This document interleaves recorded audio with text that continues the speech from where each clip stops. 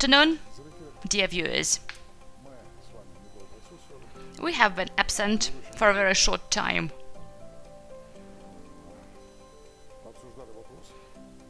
In the previous video, we were speaking about angle grinders, about the new drive, its replacement.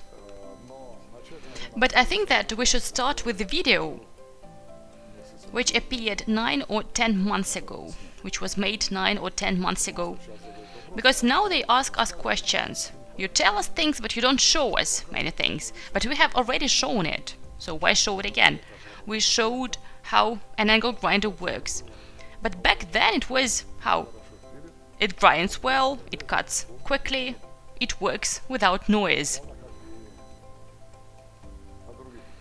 And we were speaking about other tools in a similar way. The tools which we are re-equipping, where we are installing new drives.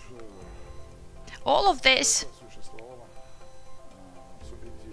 was existing in the subjective reality because we were to understand whether that technology was feasible. And we showed it. We made it come true, that's clear.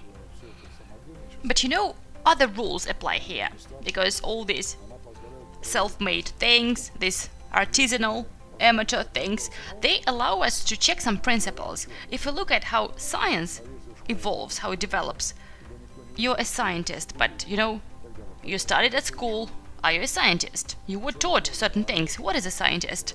There are many scientists and there are loads and loads of know-nothing people. We can say that it is somebody who does science. What is science? It is theories. Where do theories come from? From practice. If there is no practice, then it is fantasies. People start imagining tales, fairy tales.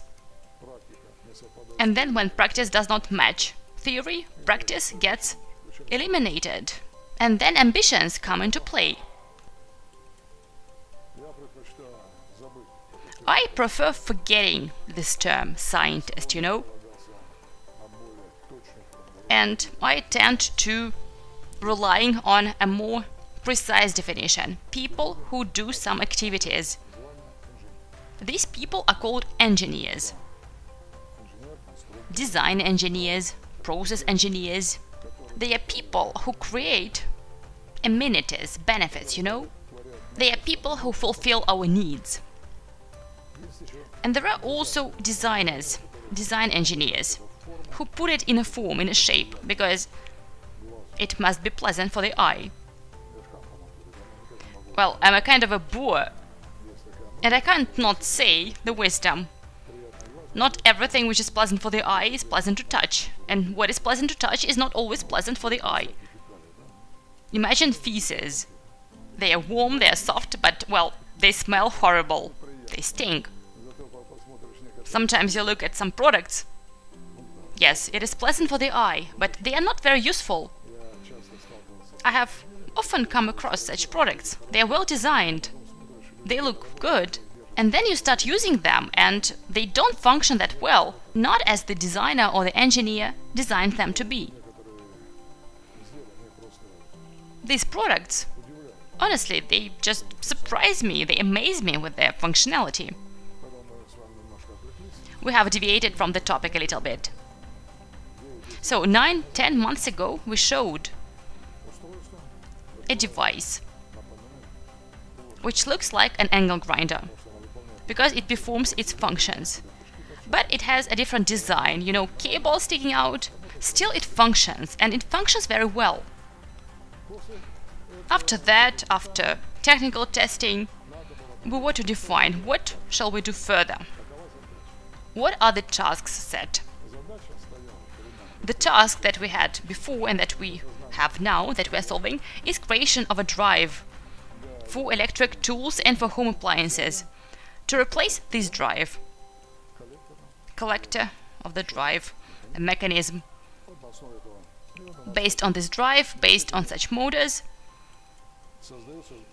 all modern electric tools are created, with some exceptions. Home appliances.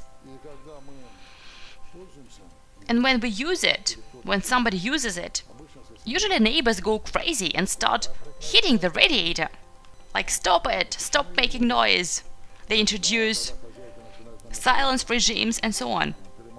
And then, for example, somebody starts to grind meat, to make minced meat, or to squeeze some juice.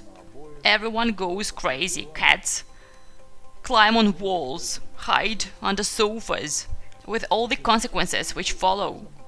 Men leave the house and go drink some beer in a quiet place. So unpleasant things happen. This is the first thing.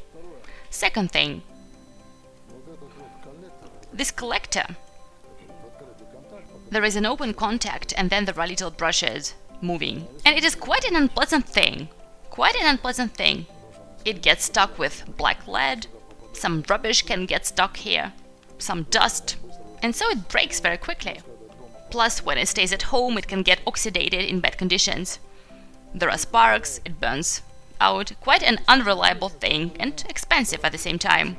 Why? Because making this rotor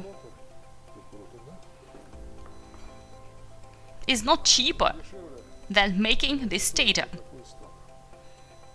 Okay, it gets in stator of an induction motor. But an induction motor, you know, it has this rotor, this type of rotor. It is definitely cheaper than this one. Visually you see that there is no copper, there is no collector. Here we have the plate, the same shaft. There is no necessity to isolate it, because here there is an electrolytical contact and connection to the network. A whole range of components is absent, so this one is cheaper, this one is more expensive. And so the task was set to stop using this motor and to transfer to the induction motor. At the same time, the same task was solved by a different means, using high coercitivity magnets, using the so-called BLDC motors. Things seem to be fine, great, great motor, but it has important disadvantages. The price is quite high, plus the possibility of producing it as a finished product only in China. If China sells it to the outer world, the magnets, I mean, they do it at a high price. They prefer selling magnets as part of products. And there is another disadvantage here. When a BLDC motor is incorporated in leather and we put it on the surface we were working on, if there are abrasive shavings there, then they adhere to it. and the raw ventilation flows and it gets sucked inside. And again, it adheres and the motor stops. So there are all these disadvantages, but an induction motor does not have them. Besides, in the West, they started to introduce laws that prohibited selling and putting into circulation products, electric tools, with a collector, with brushes. Well, then they cancelled it Europe thinks for a long time and then they start rectifying their errors. They introduced it, then they thought about it and they cancelled it. But the mechanism had already been launched. That is why we set the task to develop a drive to replace this one. We have done it, and it is to become part of history. We have made this device, we have tested it, we have looked at it. This task is solvable. However, there was a however, there was a but. Why did we have that delay? Here you see a rotor. This little rotor of the first machine we were testing. How was it made? For example, this is a workpiece, one, another, You see how it was made. The rods are circular, short circuit rings are big, all of that is done. It is made of copper, and there is brazing with brazing material. Because when you work with aluminium it is much harder. And when we obtained the results, we were satisfied with those results. Here you see after processing, if we put it here, we see the rings that have been ground Everything has been processed. It is all satisfactory. The tests have been carried out. We confirmed that, yes, creating such a machine, such a drive to replace the Collector 1 is possible. Next, we had the task. Another task. Okay, this is a technical project made according to accessible technologies. But you can't really produce a series of that unless you're a suicider or have poor judgment or just want to do it at an expensive price. A lot was done like that before, but times were different. Now it has changed. So we want to make technological equipment, test the equipment, test the technology. In order to obtain this instead of that, this one. It is also a semi-finished product before processing. It is the same rotor with a squirrel cage structure made of aluminium. In order to obtain this thing, we want to make technological equipment, technological fittings, to test it. To test the technological modes. You see there are some reminders here. So, it was quite a long way without special equipment. You can't make it quick and dirty, you know, like we were making, brazing this one. Now we made it, we succeeded. And then the result here it is, here is the result. It is well visible. We obtained this rotor. This rotor.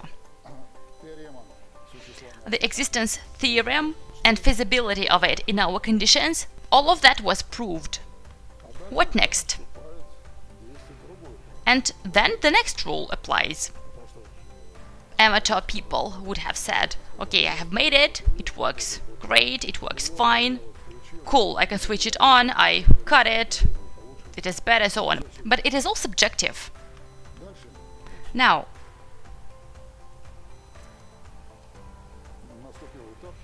time came where we were to determine what results should we obtain. That is why Well, it happened before, it was a parallel process. We examined state standards for electric tools, various technical specifications, which they were to provide. We bought some models, some prototypes. They are in the shop floor now. We put the models on the testing bench. Can we have a look? I will show it to you, colleagues. To make it more convenient. Let's get here. I will show it to you to make it clear that it is really so. You see fittings made on purpose for installing angle grinders and for coupling them with the loading machine. And we started to identify characteristics from standard CRS products.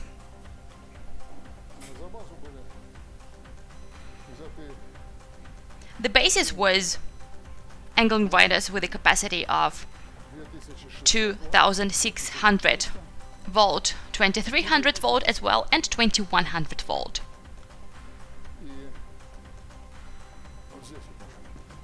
And you can read it here. I can show it to you.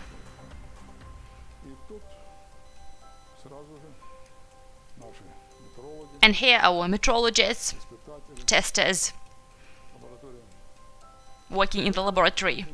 They gave us very interesting information, like in an old Russian film. You know, the Tsar is not the real one. Here capacity is stated 2100 watt. Very interesting, 220 volt, 50 hertz. The interesting thing is that the consumed capacity, there is mechanical one and there is electrical one. If we look at the technical passport and we multiply volts by amperes, we will get 2100, but not volt. Not watt, but volt amperes. So this capacity, 2100, It is consumption from the network 2100, 2300, 2600 from the network and it is calculated in volt amperes. This device has its cosinus phi, it is complex current, active, reactive, all of it together. But they write it in watt. Maybe we are fools, maybe it is one of the two. But we turned out to be right. And then it started. When we were identifying characteristics, some characteristics were confirmed and others were not. They left doubts.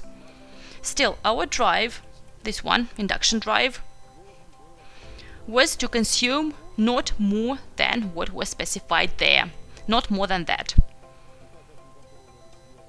And as we made the controller to prove existence, we developed the controller further. For it to provide a very high cosinus phi and a low level of reactive currents and using the capacity corrector, capacity coefficient corrector or peak factor we developed it to 0.998 or 0.995 quite a high indicator. And we measured all the characteristics the torque that it develops at how many revolutions and these characteristics became baseline for us. And the drive which we were incorporating was to provide those characteristics. And then we see not to invest too much. Can you see it? At the beginning we were not touching the casing. We made a long shaft, we put it, it is long, can you see it? We tested it, then we made such insertions to shorten the shaft to this size. Can you see it? It is a little bit shorter. Lengths are different. And we started testing. Let's look at it from behind and from here as well. I will show it to you. It is inbuilt, the motor is inbuilt. And we started testing it. We tested it, we got characteristics. And those characteristics were superior to those of collector motors. That was clear, so we decided to move further. We decided to move further. Because all of those things adjusted that allowed us to measure characteristics with big loads. They were running for 30 minutes, consumed nominal mechanical capacity on the shaft, and how did we actually do it? Capacity on the shaft, on the stone, on the working tool. It is the same as a standard collector motor provides. And a collector motor, it has a significant decrease of revolutions. We lose almost 2000. As for us, the loss in revolutions when we get from blank run to nominal capacity, it is not more than 40 revolutions. So induction motors have shown better characteristics. We got through that stage. The next thing to do was the following. Testing of the natural model. We had already made this device. This device, you see it here. There is no barrel there. There used to be a barrel like that. It had been tested extensively. And now we made this casing where the motor was placed. With channels, with ventilators. You see it here. The motor has sensors of temperature. All of that is controlled. And a handle was made for that this handle, where a controller is incorporated. There is no controller here. The guys will maybe bring it to show it to you. It was fully assembled, so the fully assembled prototype was ready with thermal modes. the ready prototype of an angle grinder.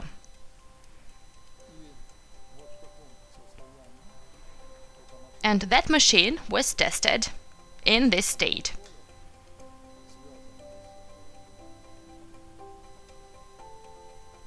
The controller was linked to the testing bench, to the equipment, through a special pair for us to be able to change its characteristics, settings, which were necessary. And this angle grinder, you see that there is a special bushing there for coupling. It is now being tested. It is being tested for long-term capacity, for load, and for emergencies. So starting from now, we can say that a prototype of an angle grinder appeared. Everything which was before that. They were stages that development goes through from an idea, from a concept, from a model which was made in quite an artisanal way to using technologies, serious production technologies, manufacturing nodes, parts. The controller went through very significant changes as well in the process of all those tests. Some component solutions were changed as well. The circuit plate was remade several times. Radiators for cooling were optimized. Sufficiency or redundancy of the radiator was determined practically. A lot of work was performed. A lot of work. And at the same time, we were testing standard machines in order to confirm characteristics that we are to provide. We were not just to test one machine, but several of them. We will have several machines, we will have them tested to confirm the parameters because there is quite a lot of variation of characteristics there from one motor to another. Now status like this, we have dozens of them ready, dozens of them prepared, rotors as well, and in the previous videos we showed that rotors have different shafts for different electric machines, for different devices, for different tools. So the task is to create an all-purpose drive that can equip a big range of tools and home appliances. And as of today we can say that the drive has happened. It has been realized. What is now going on in terms of the angle grinder? You know, it is just a question of technique. When testing of thermal modes is finished, then all these 3D models can be passed on for manufacturing press molds. This is clear. And then we can get to the commercial part of the project. Because at the current stage, apart from testing, we also calculate costs with different batches of production. For example, producing the drive separately or producing electric tools we are also optimizing the price of the elements, the base of elements of different components, and I don't exclude that the controller will go through changes in terms of reducing costs. This is possible without deteriorating its quality. We are now working actively with partners, with Victor Arista, for example. We're working with him on components. A lot of work is being performed. A lot of work. And I hope that very soon, not later than June, we will show you this work in real conditions of the devices, even though it is not that important, really. The main thing is that we obtain certain characteristics at testing benches, because as for overload, as for overheating, you can't achieve such rough conditions in real life, in real conditions. If we have a look at state standards, we will see that an angle grinder is supposed to operate in the conditions of overload for 30 minutes, when climate conditions are normal, and nodes and parts are not to be overheated and reach temperatures which are higher than acceptable. Thermal resistance classes a whole range of parameters, both for the controller and for the motor itself. But you understand very well that any abrasive stone will be really completely worn out within 30 minutes. And the fact that you don't lose revolutions, due to that you have better performance, better capacity, and of course that means better work.